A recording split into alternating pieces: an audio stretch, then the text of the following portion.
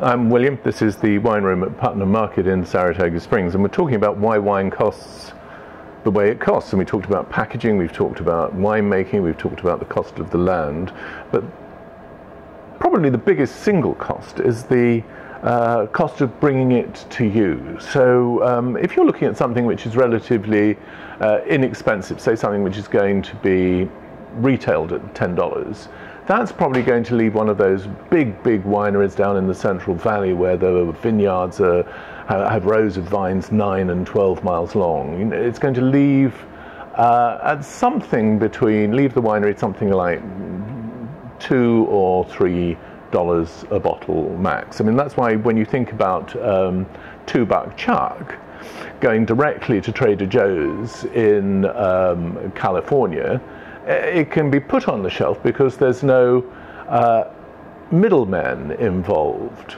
But for everyone else, there is, and it's mandated in the state of New York and many other places by law, it's mandated that the winery has to sell to a wholesaler. And this wholesaler will take the wine and will take something like uh, 20% uh, margin on it. So that takes the price up to around $6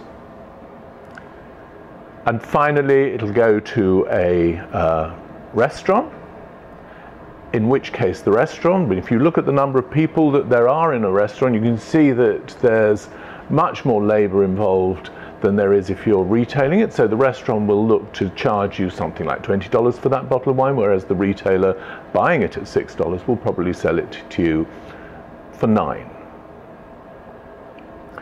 What happens at that level of course, gets magnified quite dramatically when you've got something like this. And this wine probably leaves Chateau Montelena at around $20 a bottle.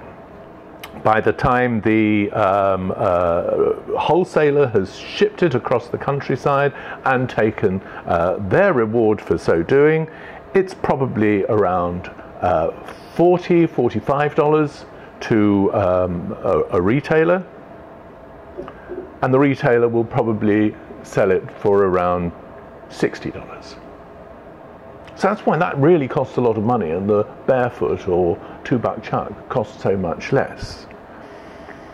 But it's also the reason why that were you to visit Chateau Montelena, and I absolutely recommend that you do, but were you to, they will be very, very keen indeed to sell you this wine and to ship it themselves directly because there they will be selling a bottle of wine which otherwise would have to be sold to a distributor for 19 or 20 dollars.